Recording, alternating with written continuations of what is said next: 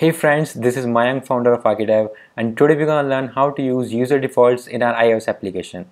So guys, why do we use user defaults?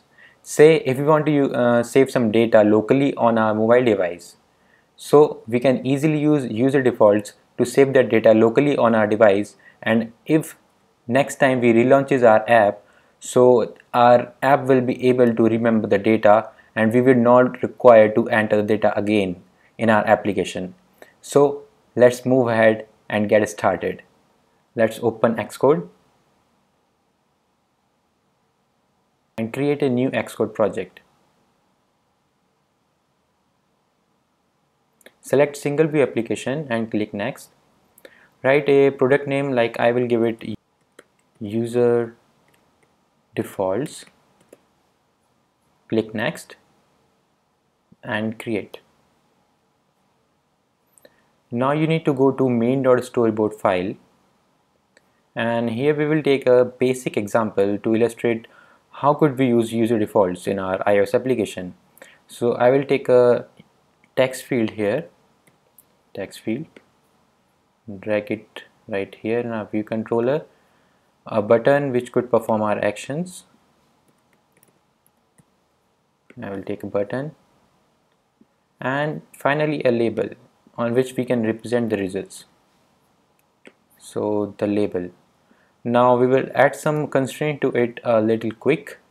So now that we have set the constraint let's make the outlets of uh, all these elements. Like I will make the outlet of text field. I will give it the name name text field like this and hit connect and the next one is a button. So for button I will make a action. And its name will be save action. Like this. And hit connect. And the next one is uh, a label also. So I will name it name label. And I will hit connect.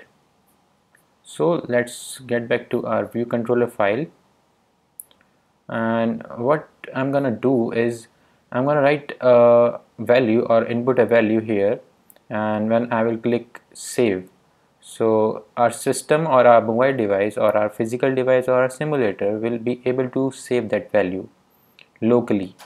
So that we, when we will relaunch our application that value will write here. And we will not uh, we will not require to enter the re-enter the value. So let's get started with our view controller file and in the save action let's write name label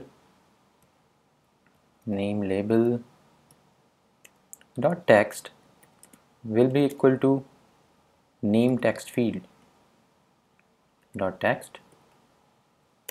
And in the next line let's write user defaults dot standard dot set and here we here you can see that we can set the value for any for key string for value bool for string for key string again and for double float int like that.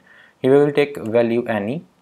And in this any we will write name text field dot text like this. And for key let's say the key is name. And now we will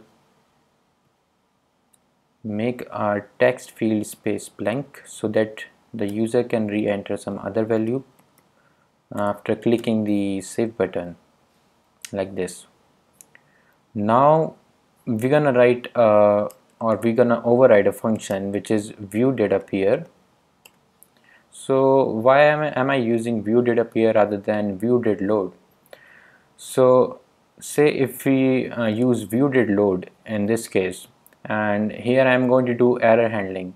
So if I will check the value or extract the value of our name text field variable or anything else so in the case of view load maybe the value uh, will be in the process of uh, loading or maybe not extracted. So if I will try to extract some value from here and if it's not loaded yet so we will be most likely to get a crash so that's why I will be using view did appear here.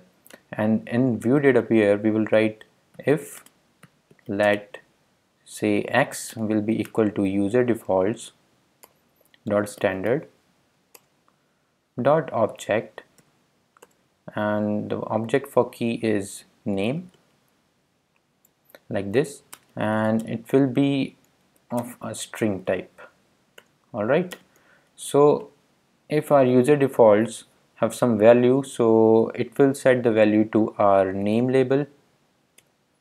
Sorry its name label name label dot text will be equal to x. So that's how we can um, prevent ourselves from any kind of crash. So let's build and run this app and see what happens. So here we have our final application and if we will write here say Indian Army. For me Indian Army is the best army. So I will write Indian Army and we'll click on save. So let's relaunch our app and see does it save the value locally or not?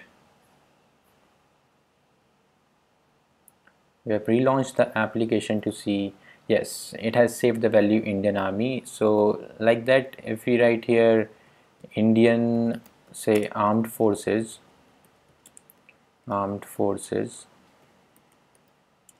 and click save like that. And I will relaunch the application once again.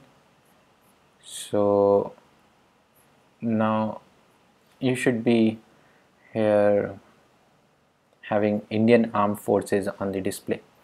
So that's how it saves the value locally and it generally saves non-complex data. So just explore this out and try it yourself. And if you like the tutorial please hit the like button down below and subscribe my channel for more such videos in future. So see you in the next one. Bye bye jai hind.